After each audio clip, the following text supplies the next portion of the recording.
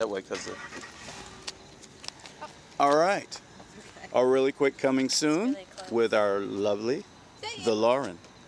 What do you like? To, what You'll would you do like? a movie review with her and not me. You want to say your opinion on Looper? Will you watch it?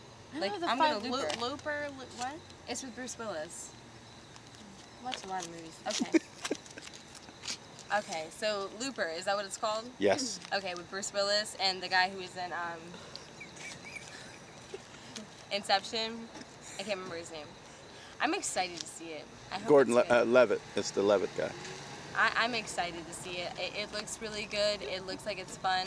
I like movies that are different, and it looks like a different movie. Mhm. So I'm excited to see it. I hope it's good. Bruce Willis is always awesome, so I'm hoping it is amazing and fun and sci-fi, and I like the sci-fi adventure Thank action movies. So I will give you my opinion on the movie when I see it. Which Awesome. will be very soon. Awesome. Thank you. No problem.